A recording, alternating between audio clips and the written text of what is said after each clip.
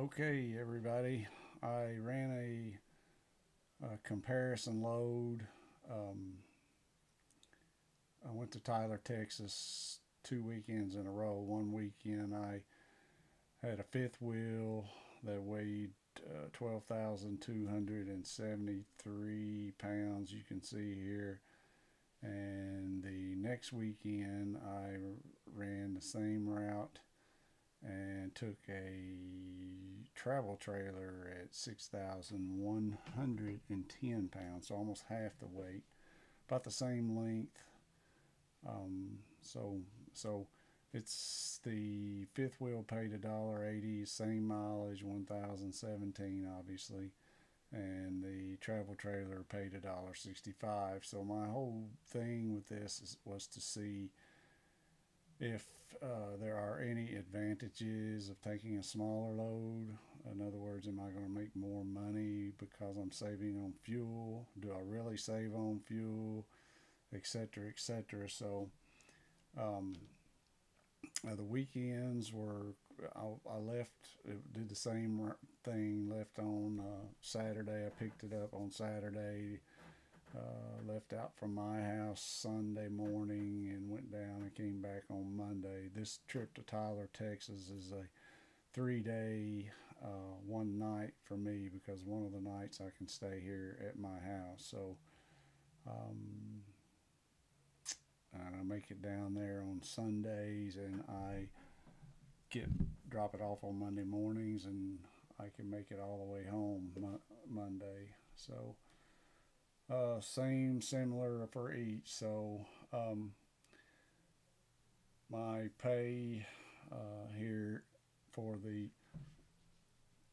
uh, fifth wheel, the 12,273 pound, you can see uh, right here.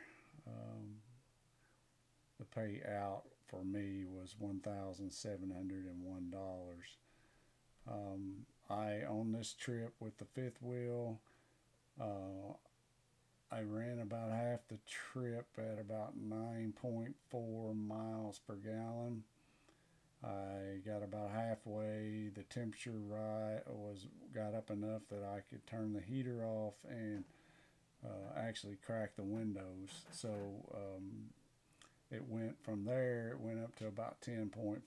So I used an average of 9.8 miles per gallon to figure out my uh, mileage uh, fuel cost for towing a vehicle, hauling a vehicle, hauling the camper, and then uh, the tow, the not hauling. I always use 16 because mine can vary either way. Um, it can go up to 17. I've seen it up to 18. I've seen it down 14 something. So I, always just use 16.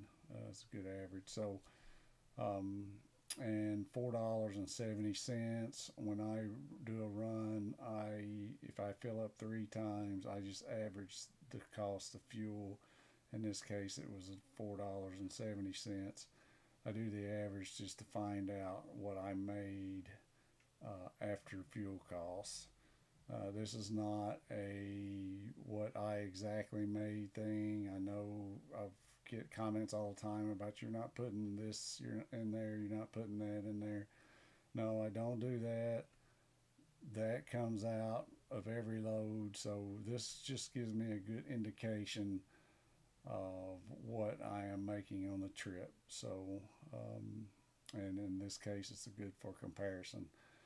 So I made almost $900 on this trip.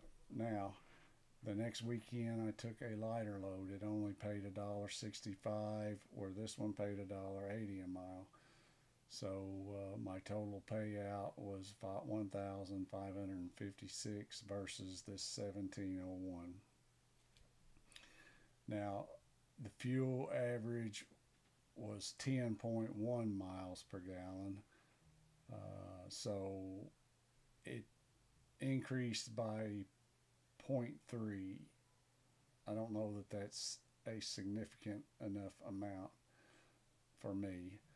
Um, the average fuel cost for this trip was four dollars and twenty six cents, but in order for comparison sakes, I used the same four dollars and seventy cents as though the fuel cost would be the same because I'm trying to figure out which one is better.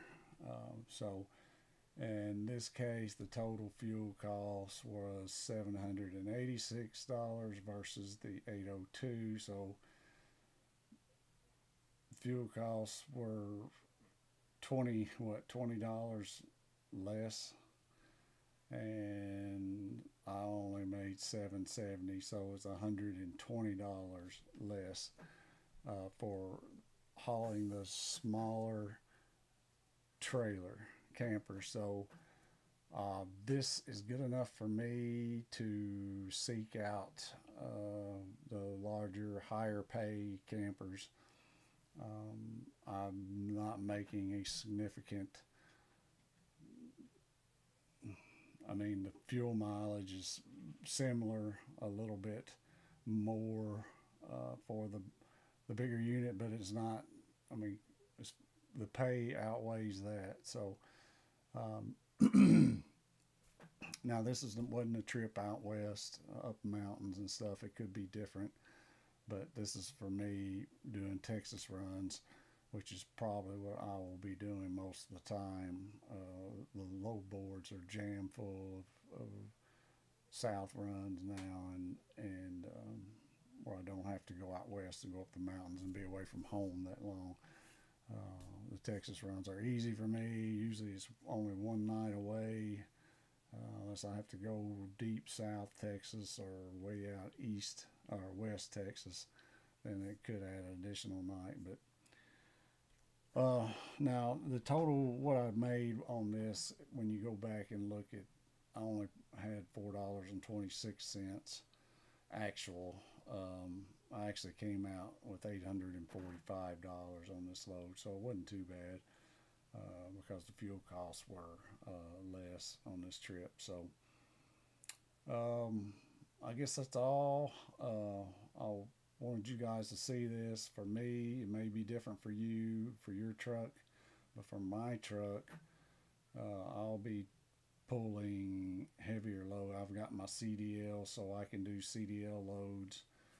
Um, so I'm going to grab the heavier loads uh, that pay more. If they pay more, now you've got to watch that too, because you could get in a situation to where and I've seen it where a lighter load pays just as much as hauling a heavier load, and then you would definitely want to get the lighter load. So, if the pay is more for the heavier load, I am going to pull heavier loads from now on. So, all right. Um, I hope this helped someone. If it did, please like uh, the videos and and subscribe to the channel and hit that notification bell and you'll continue to get my content.